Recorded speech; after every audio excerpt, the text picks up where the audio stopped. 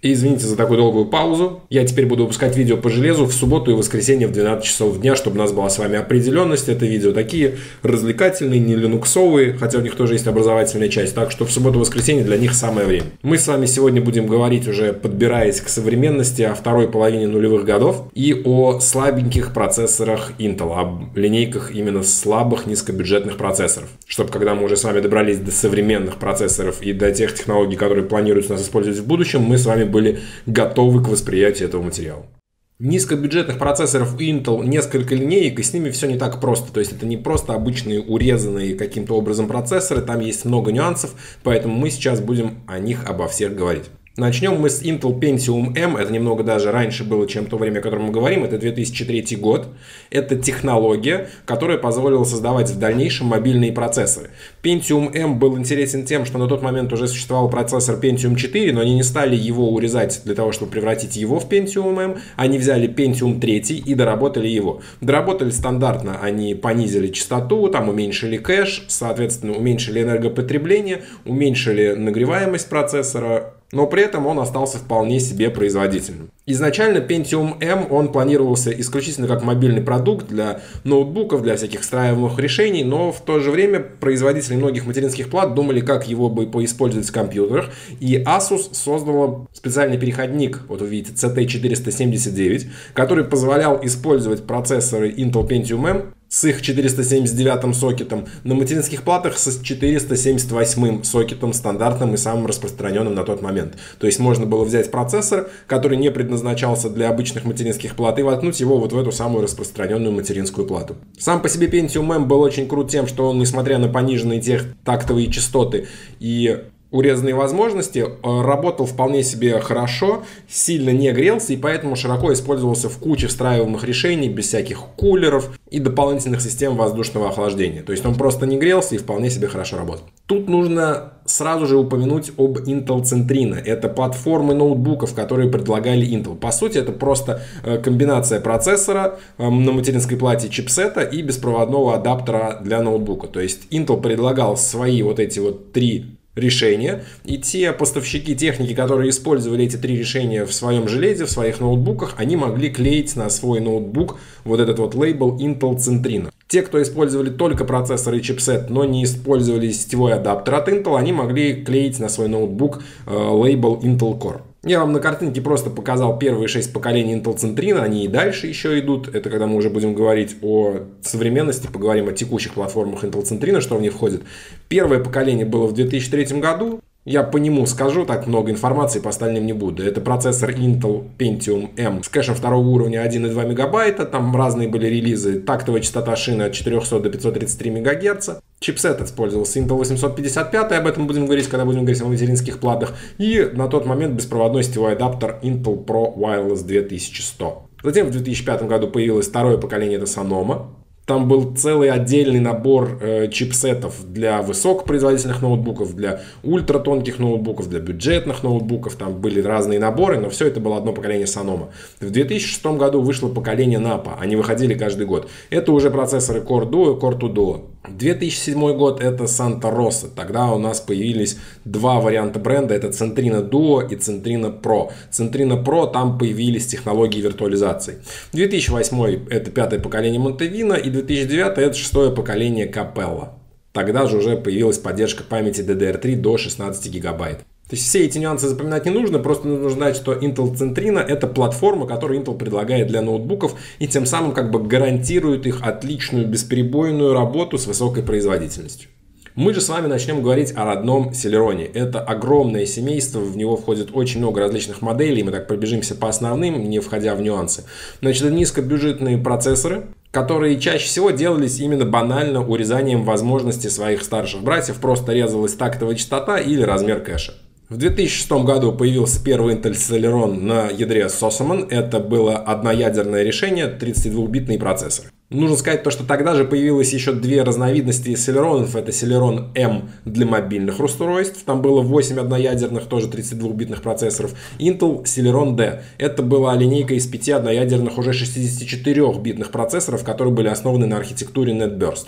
Но опять же, это слишком много такой дополнительной информации, так что я пробегаюсь по основным. В 2007 году появилось уже э, решение Intel Celeron с ядром Conro L. Это все решалось на уже основе микроархитектуры Intel Core. То есть тогда, когда Intel стал делать свои вот эти Core to Duo процессоры, тогда же и появилось решение вот это вот Intel Celeron. Вы видите то, что тут одно ядро, то есть они отключали одно ядро, оставляли, соответственно, тоже одно, уменьшали кэш-память второго уровня и отключали несколько интересных технологий. Так как тут уже использовалась новая микроархитектура Core, то по сравнению со старой их неудачной архитектурой NetBurst, ну как неудачной, удачный, но не такой хороший, э, такие процессоры выигрывали у предыдущего поколения, но все равно были довольно-таки слабые. Хотя для бюджетных компьютеров, э, на которых запускали какой-нибудь офис и браузер, это работало вполне себе нормально. В 2008 году появился Intel Celeron с ядром Allendale, и с этого момента, вы видите, у нас появились уже двуядерные Celeron, которые поддерживались 64 бита. Отличались они от старших Intel Pentium тем, что у них было урезано только кэш-память второго уровня. В 2009 году появился Celeron на базе ядра Wolfdale. Это уже микроархитектура Penryn, мы о ней говорили, когда говорили об обычных таких самых популярных интеловских процессорах. Опять же, недорогие процессоры, у которых была урезана кэш-память второго уровня, уменьшена тактовая частота процессора и тактовая частота шины, но при этом разблокированы возможности разгона этих процессоров, поэтому их вовсю использовали. Ну и в 2010 году появился всего один процессор новый Intel Celeron. У него была маркировка Intel Celeron P1053, ядро Jasper Forest одноядерный. Но он был интересен тем, у меня, видите, стоит звездочка, что он поддерживал технологию гипертрейдинг. Мы о ней тоже уже говорили. Это такое а виртуальное разделение одного ядра на два программным способом. Процессор был слабоват, у него была тактовая частота всего 1,33 ГГц, но при этом он хорошо использовался тоже во встраиваемых решениях. Нужно сказать то, что отдельно еще у Intel был бренд Celeron Core. Он как бы не сильно отличался от Celeron, но я его выделил в отдельный слайд. Это тоже 64 бита процессор, это тоже архитектура Core, как и прошлые Celeron и большинство вот начиная с 2007-2008 годов.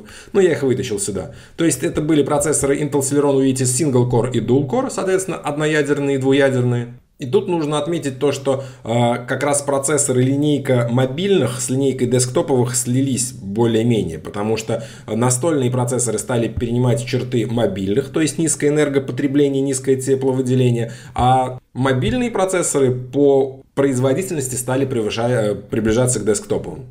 Core от Core отличались только наличием второго ядра. При этом как и Core, так и Core были не сильно производительные, потому что у них было урезанное ядро, этим и интересно. То есть у них мало того, что была слабенькая частота, еще использовалось вот это вот урезанное само ядро. Соответственно, мало технологий там в нем. И использовалось это все в слабеньких компьютерах. На ядре Pendrin та же самая история, использовалась урезанная сокращенная версия ядра, отсутствовала куча технологий, которые были в десктоповых процессорах, Поэтому эти решения использовали для мобильных устройств малой производительности. То есть ноутбуки на них были весьма и весьма слабоваты.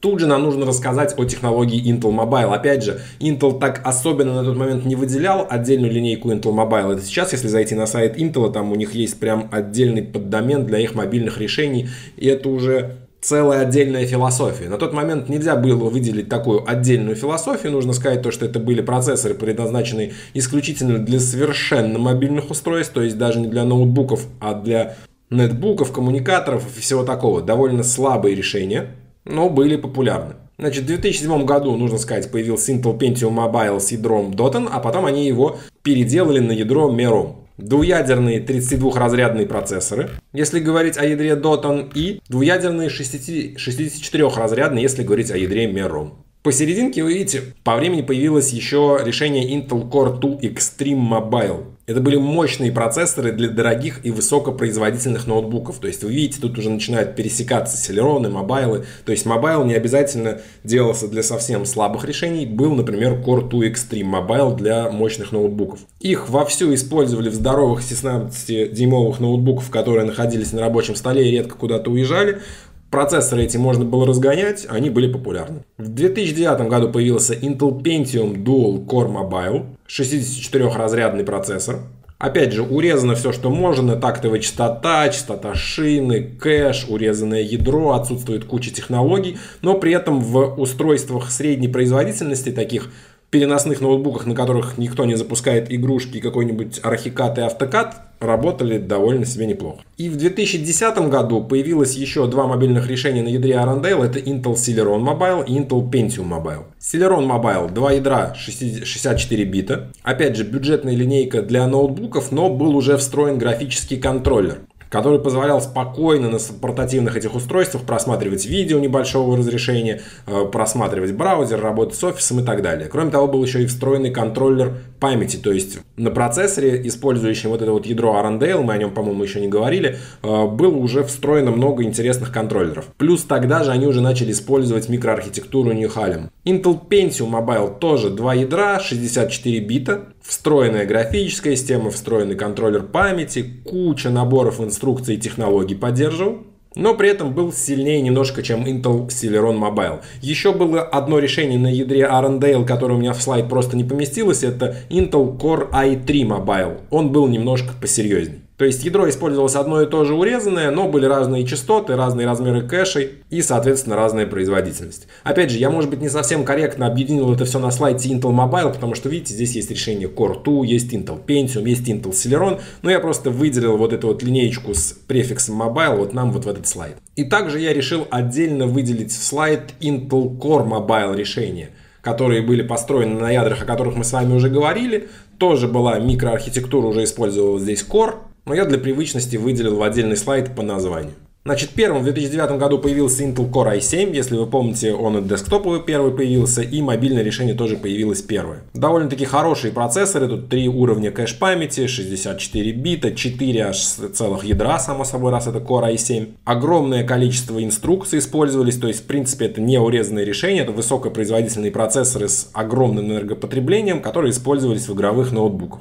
В 2010 году уже сразу на обновленном ядре Arendale вышло три решения. Это и Core i3, и Core i5, и Core i7. Все точно так же, как с десктопом. i3 бюджетный, i5 средний, i7 высокопроизводительный. I3 был двуядерный. Плюс еще в нем использовался гипертрейдинг. То есть программно он был как четырехъядерный процессор. Частота от 1,2 до 2,5 ГГц. i5 тоже два ядра, 64 бита. Тоже технологии гипертрейдинг, огромное количество дополнительных технологий, виртуализации и так далее, частоты от 1 тоже до 2,67 ГГц. Core i7 Mobile также был 64 бита и всего 2 ядра. И эту линейку делили на три группы со стандартным напряжением, с низким напряжением и со сверхнизким напряжением. Соответственно, чем ниже напряжение, тем дольше могли ноутбуки работать от батарейки. Частоты здесь были разные. В целом от э, 1 до 1,5 ГГц для самых низко напряженных, так скажем, процессоров, до 2,5 до аж 3,5 для процессоров, которые использовали повышенное напряжение.